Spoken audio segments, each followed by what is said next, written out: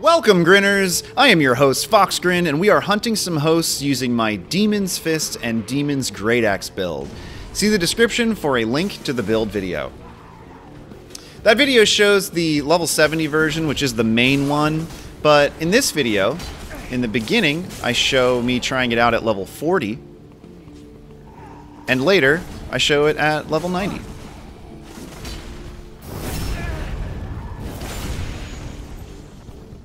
It performs pretty well at this level. The combo sure still works.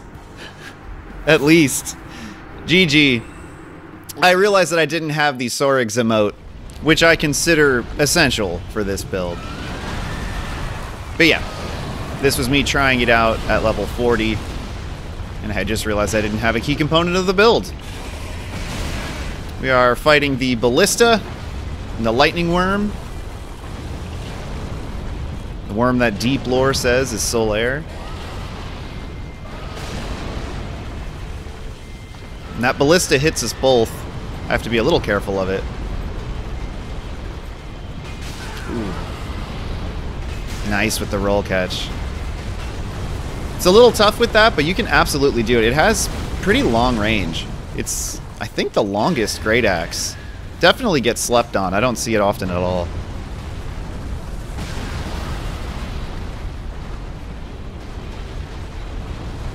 And just look at that fashion. Mm. I do think it looks better with the gold red Phantom, but I guess I didn't have that yet. And the roll catch combo. Beautiful. GG.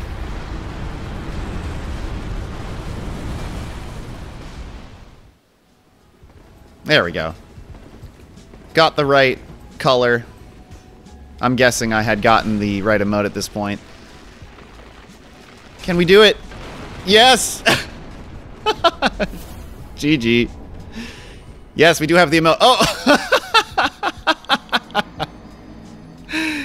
Worth it.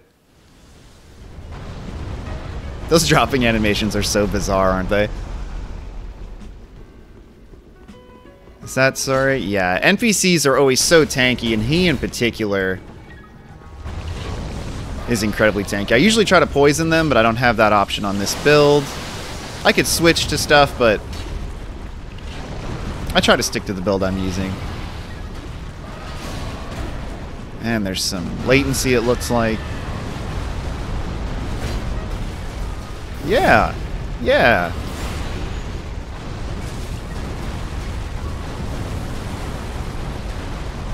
This is just chaos. At least we don't have the ballista. I can't remember if it's still going. I haven't seen it in a while. Great shield. Tough for me to do anything, really. Oh, that could have been good. I didn't get the riposte, but I, I threw those R1 spams out there hoping I would hit in the recovery animation. And it looks like I did.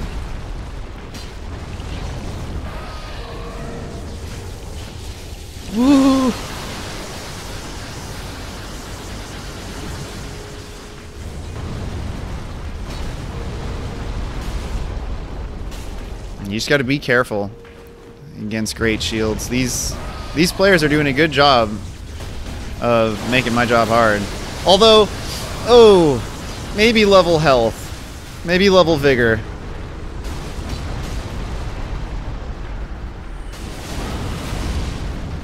And serving up a nice combo for the NPC. Doesn't do that much. Oh, but it breaks the shield! Yes! damage is usually so reduced by the fact that that's an NPC Phantom. It's usually so reduced it's not worth doing the combo or something fun like that, but pop the shield. Awesome. Awesome. Fist fight. Dex versus strength.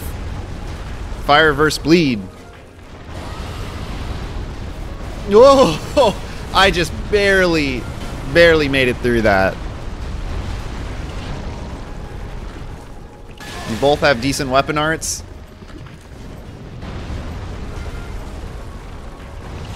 As you have seen, I'm always trying to go for those fist drop attacks because they're so rare. And I'm waiting for a heal or something that's going to take a bit of time so I can get my combo.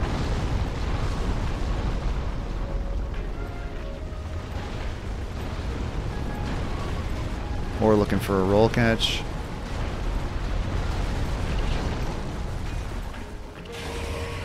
There it is.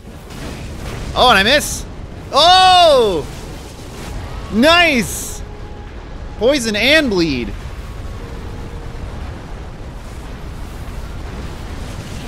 Gets me again, and I'm poisoned.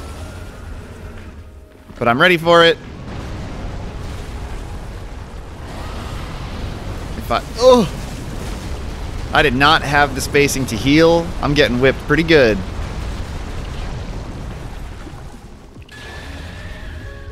Oh no, we were having so much fun.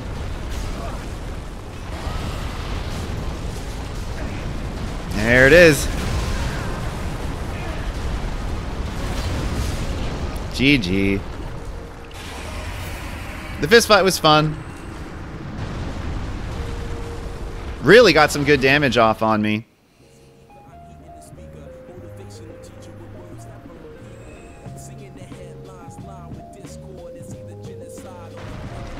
Level 40 is another fun range to invade at. The builds that I like usually don't work too well there.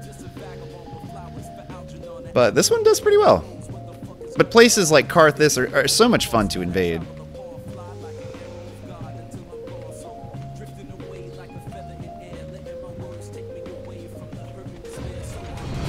Oh. GG. I'm not even sure who tripped that, but yikes.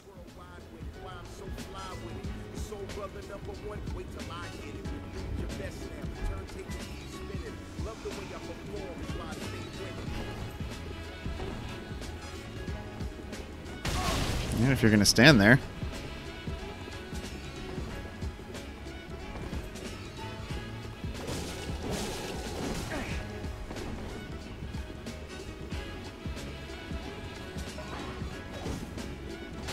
You have to respect the damage of those sell swords.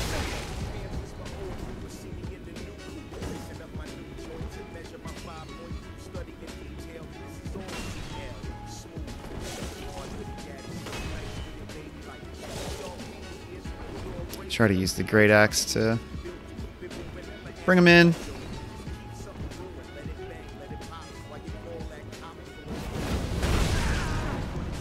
Don't even need to do the combo. GG. I read the running attack coming in, poised into it. There's a little bit of poise on that weapon art.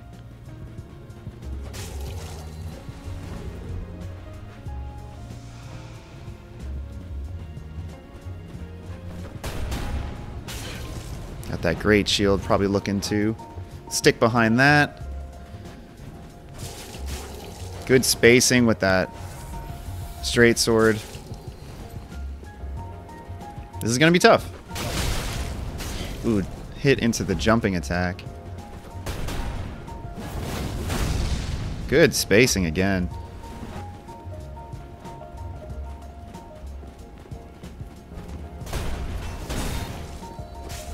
Good use. Probably should have went for a weapon art there. Maybe could have caught them. I wasn't close enough, and I was nervous about going for the weapon art for the heal punish, since they've been spacing so well. Shake it up with the Great Axe. Gives me a little more space to control. Looks like it outranges that.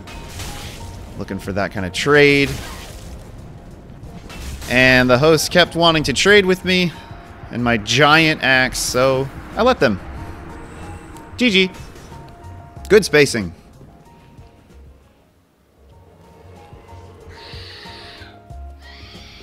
I believe this is back up, and the previous one too.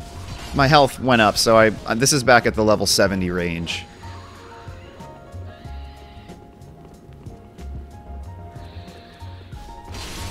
Oh, GG. Don't even do the Soregs, because I feel bad. That's what's fun about having a big weapon on a build is those drop attack executions catch with the combo, but they have enough health. Try to finish off with the straight sword. Sometimes I have that, sometimes I have the bandit's knife.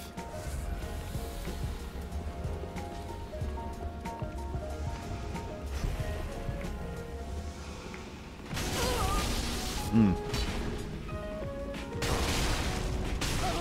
GG. It was pretty scary going for attacks up close like that with a huge hyper armor weapon. Now this is up at level 90. I haven't used this version too much. Actually, there was a lot less footage of this build than I thought when I was going into starting to make these videos um, because it's so new.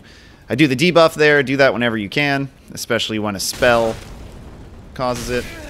And we have a bonfire duel. Ooh. Oh! and again, I notice I didn't have Sora's emote. The build is not complete, but getting blown right off the edge by that weapon art combo, beautiful. GG. And just look at the fashion of this level 90 version. So this is... Yeah, I did a few clips. I, the first one there was to show that that white likes to R1 spam, and I showed that because it is important for later. That was like the research section of the invasion.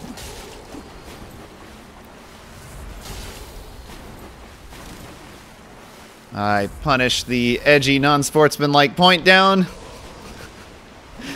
Fair trade.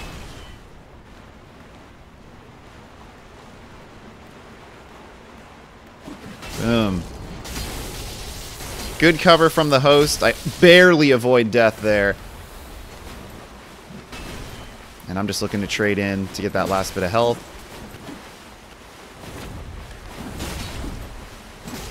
And I know they like their R1s. GG.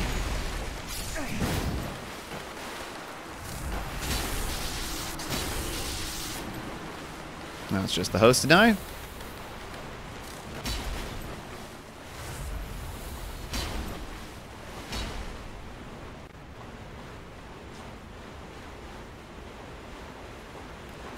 Can't poise into it. I don't have enough hyper armor there, but if I can outspace... I'm just looking for my opportunity. Decent damage at this level. Not as impressive as at 70. Ooh, that could have been it. I was ready. Ah, and they walk into it. You know what's coming. Instead of... I didn't even have to try to time the roll catch Oh, and the connection error. uh, isn't that just classic Dark Souls? GG.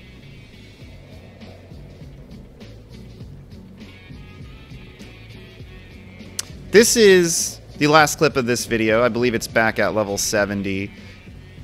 It is a duel, a full duel against a Great Sword and Parry Shield with Tears of Denial. Pretty meta as far as things go. So I know I have a challenge on my hands. And they have a pretty cheeky name there, so I'm assuming we're going to see parries. I'm assuming we're going to see point down, so I'm trying to play my best. And there we go. There was the first parry attempt. I can almost guarantee this player has point down on their um, bar and the Hornet Ring. If not, I apologize. It was still a good fight overall, but I know to be careful against this sort of player. And the weapon art cannot be parried, so it's a bit of an ace in a hole I have. They were ready to uh, whiff punish me there. That's why I had to unlock and curve it backward.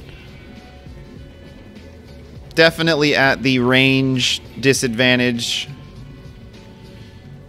But that's what's fun about it.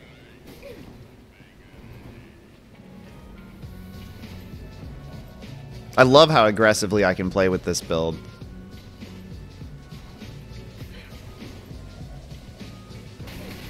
Mm-hmm.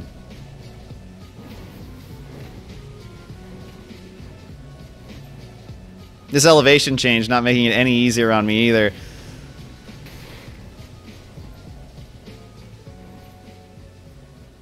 And my one of my main goals here is to be unpredictable even if it gets me smacked once or twice, I really don't want to get parried and pointed down on. And I do the follow-up, but I am robbed by the elevation. That's okay, that means this fight isn't over yet. Let's go. I try to see if my unparryable giant axe can do something like this. It's a good switch up. In general, a great axe isn't the best thing to be dueling with, but it's a changeup. GG. Double roll catch. Popping their Tears of Denial with the two-hit L1s. See, it can perform even against meta duels. GG.